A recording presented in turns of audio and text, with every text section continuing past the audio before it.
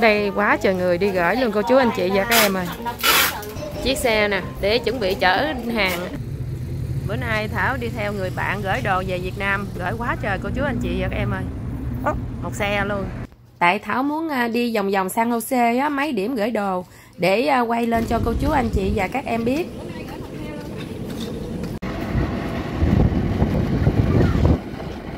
Chỗ này có cho xe đẩy nữa hả tiện lợi quá ha. Bữa nay đi điểm đầu tiên là cái chỗ abc cargo.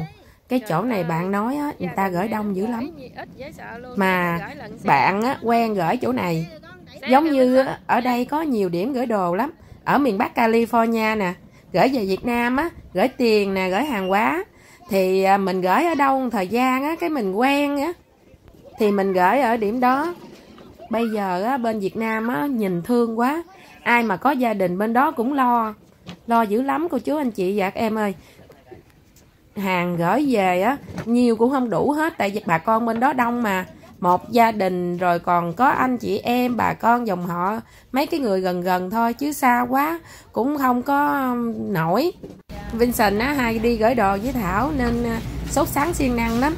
Được cái ảnh ngoan với lại à, chịu làm việc lắm lần đầu tiên thảo tới chỗ này luôn. Thì thấy đông nè có cái à, like để sắp hàng nữa đó.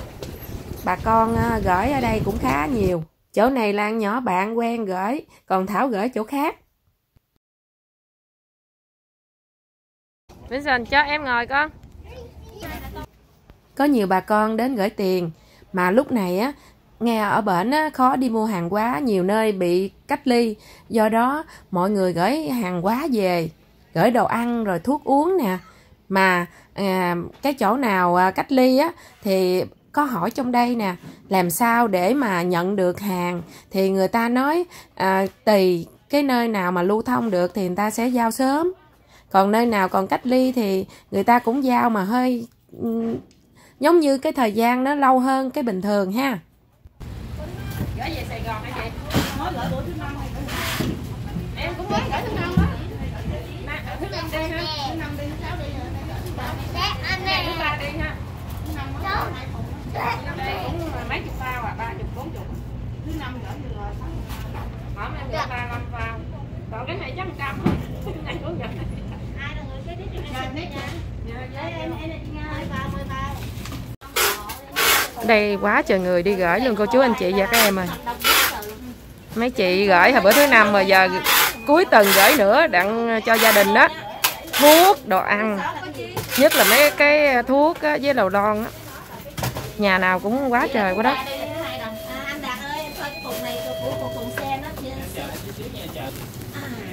cái này mấy người ta không có thời gian đợi á cái người ta để đây nè. Cho từ từ cái chỗ gửi kiểm rồi đóng thùng luôn.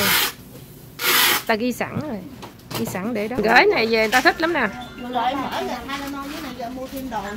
Dạ. Cháu em nói rồi hả? Một ngày cho nó hai chục người xíu dạ. em gửi rồi. Mà, mà đồ đồ lên giá lắm chị. Đồ bển giờ lên giá mắc mắc lắm. Đông quá trời cô chú anh chị và em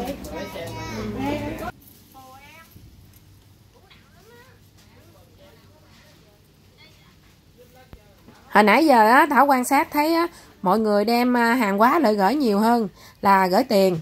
Ở trong à, cái chỗ à, gửi đồ á thường người ta cũng có bán mấy cái mà mình hay mua gửi về á nhất là sữa nha. À, ở đây á người ta đóng thùng luôn. Nhiều khi á mình đem lại đồ thôi người ta có thùng sẵn luôn thùng cắt tông á cái đóng thùng cho mình luôn. Bây giờ tiện lợi ha ở trên kệ á có nhiều hàng mình mua mình gửi luôn ha. Cẩn thận nó chạy chiếc xe con đi. Thảo thấy các à, điểm gửi đa số hiện nay đều nhộn nhịp. Người đến gửi nhiều lắm liên tục luôn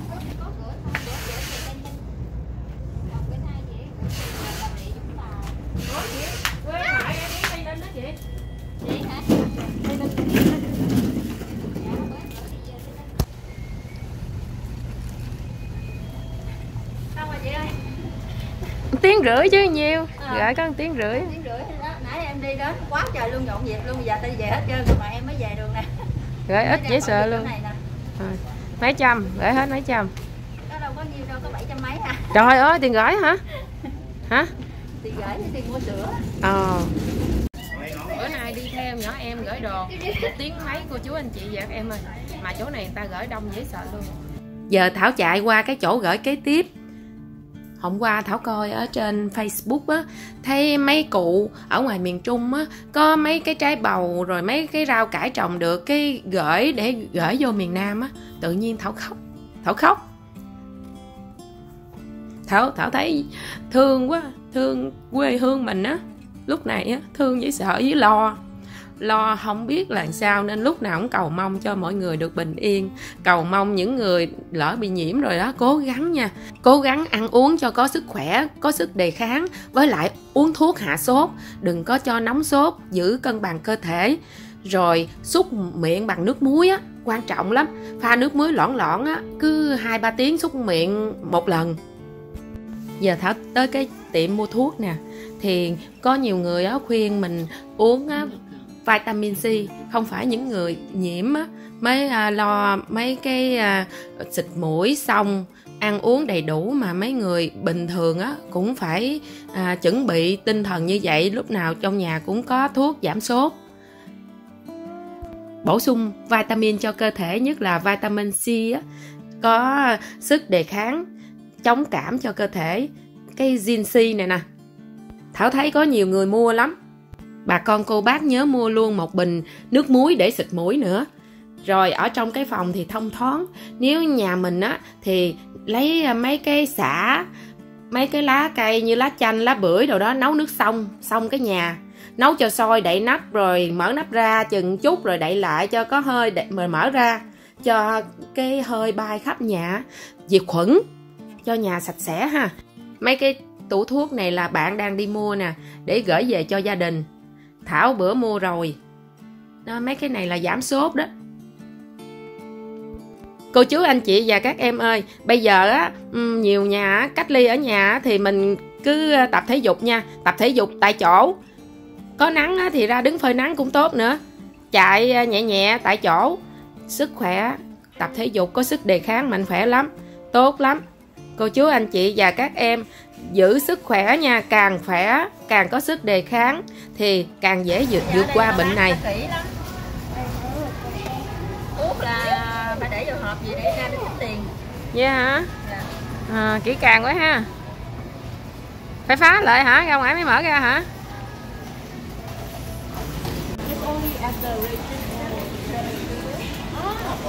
Cho mấy đứa em được rồi nó giống kẹo vậy đó.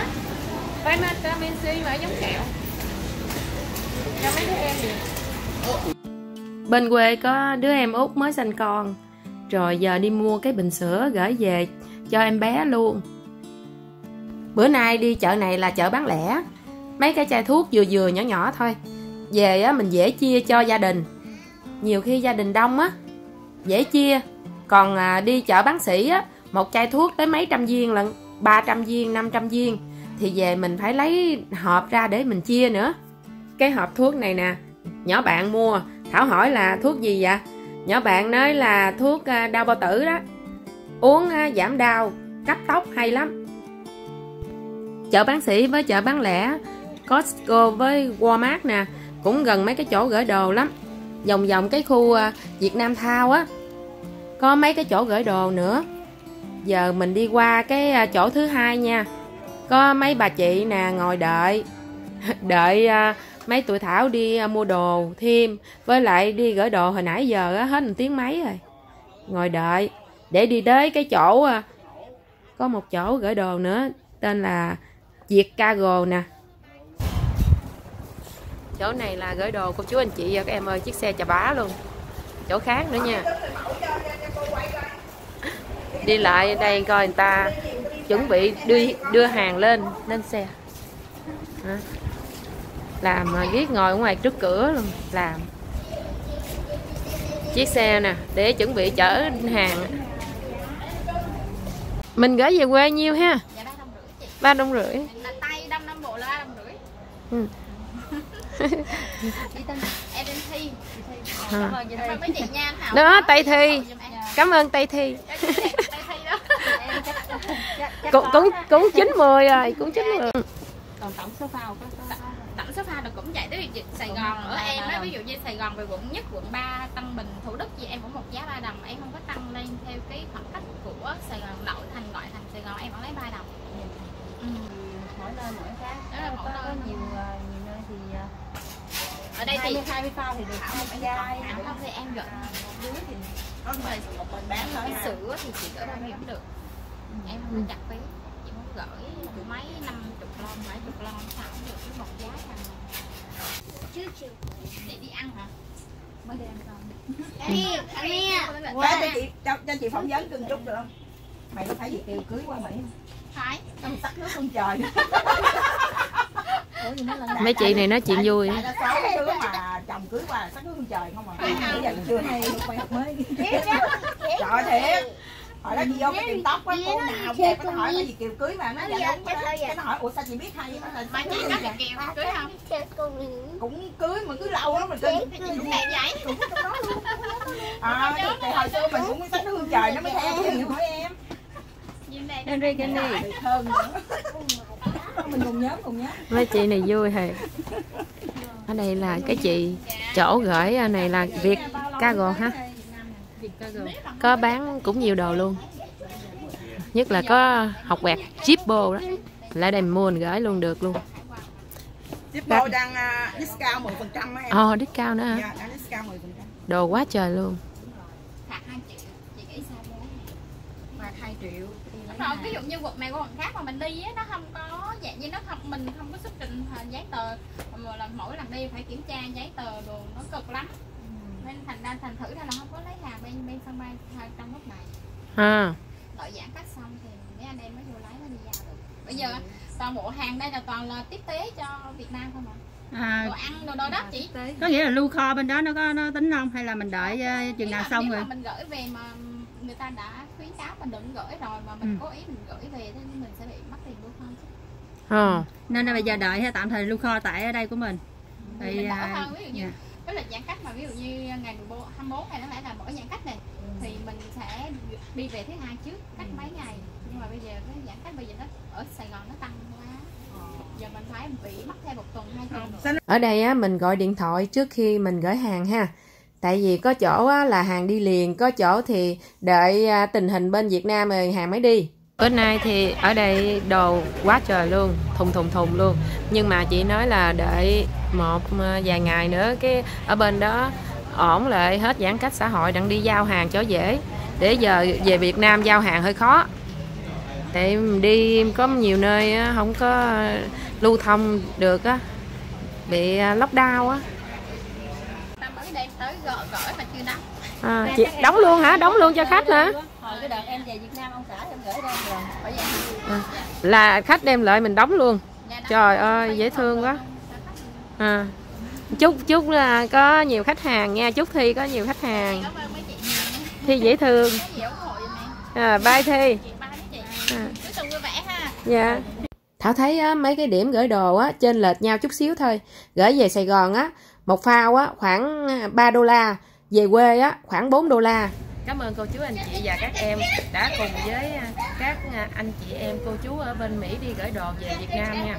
Lo cho người thân ở bên dữ lắm. Bà con cô bác luôn, dễ thương quá.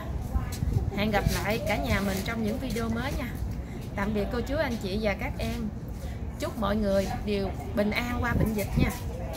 Bye. Tạm biệt cả nhà.